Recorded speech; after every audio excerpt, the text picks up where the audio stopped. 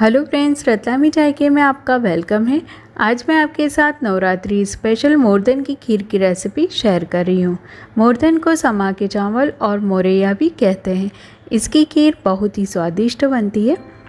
फराली खीर साबुदाने की भी बनती है, लेकिन कुछ लोग साबुदाने पसंद नहीं करते हैं।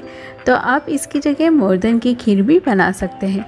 बिल्कुल इसका टेस्ट चावल की खीर जैसा ही आता है। तो चलिए बनाना स्टार्ट करते हैं। ये मैंने आधा लीटर दूध लिया है। ये फुल क्रीम दूध है। इसे हम उबाल आने तक गर्म कर लेंगे।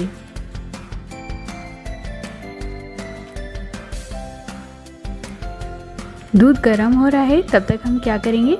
तो एक बाउल में डेढ़ चम्मच मूर्धन लेंगे और इसे पानी से अच्छी तरह से धो लेंगे। मैंने इस चम्मच से डेढ़ चम्मच मूर्धन लिया है। आपको ज़्यादा नहीं लेना है मूर्धन, क्योंकि ये पकने के बाद फूलता है। अब हम इसमें पानी डाल देंगे और अच्छी तरह से इसे धो लेंगे। मूर्धन को मैंने अच्छी तरह से धो लिया है और ये देखिए, दूध भी हमारा गर्म हो गया है।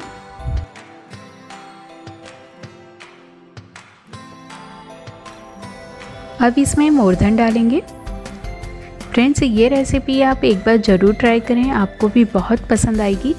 इसका टेस्ट बहुत ही लाजवाब है मतलब जैसे चावल की खीर बनती है ना, सेम उसी तरह से इसका भी टेस्ट आएगा।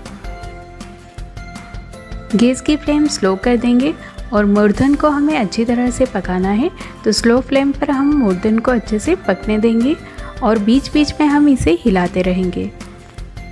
मूर्धन को आपको किस स्टेज तक पकाना है तो आपको मैं बताती हूँ। तो देखिए, ये इस तरह से मूर्धन को आप उंगली से दबाएँगे तो ये मेश हो जाएगा मतलब मूर्धन अच्छी तरह से पक चुका है। अब हम इसमें शक्कर डालेंगे। वन फोर्थ कप इसमें शक्कर डालेंगे। मतलब चार बड़ी चम्मच मैंने इसमें शक्कर डाली है। अच्छे से मिक्स करेंगे और स्लो फ्लेम पर हम इसे 15 मिनट तक उबाल लेंगे।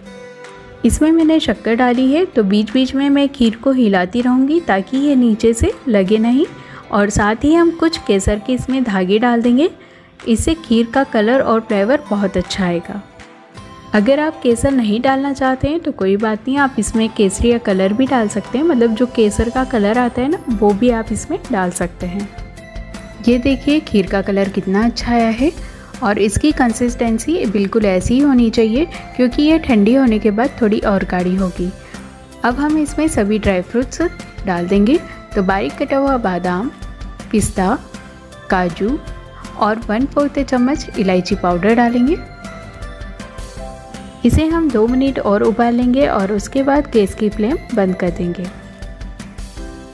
तो ये देखिए, मोरदन खीर हमारी तैयार हो गई है। अब हम इसे सर्विंग बाउल में सर्व करेंगे।